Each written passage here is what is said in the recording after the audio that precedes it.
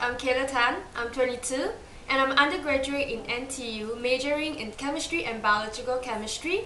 Um, during my free time, I love to sing and also to play sports, and I dance salsa as well.